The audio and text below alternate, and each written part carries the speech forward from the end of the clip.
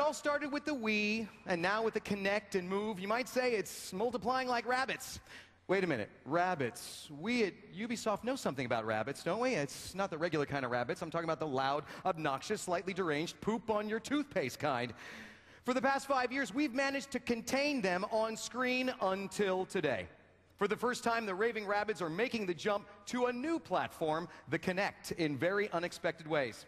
Here to talk about it, give me a round of applause for Antoine Henri, everybody.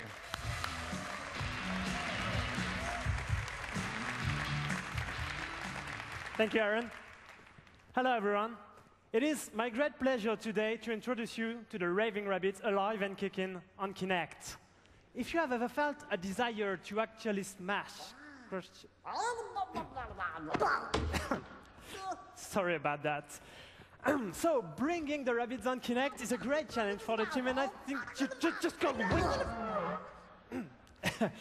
Sorry. Well, now at least you get an idea of what it is at work every day dealing with those unpredictable creatures. And oh, some more. Get away. Oh, uh, help! Uh, Diego, help! Help!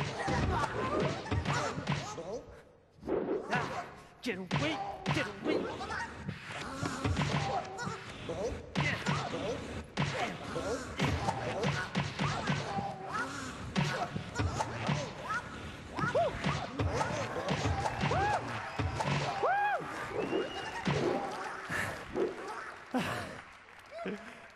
Whoa, as you can see, we use the augmented reality to bring the Rabbids right in the middle of your living room. But not only do the Rabbids get real like never before, we bring the party game on Kinect to a new level with games that you can play up to four players simultaneously. The more the merrier.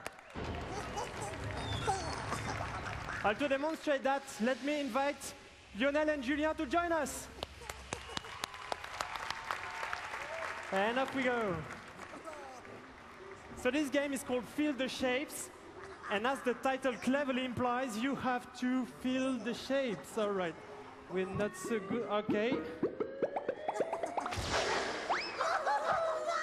All right then. Nice one.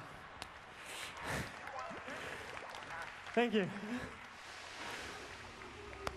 Next one is the UFO. All right. So you'll do the antennas. Uh, I'm useless. Uh, okay. All right, come on.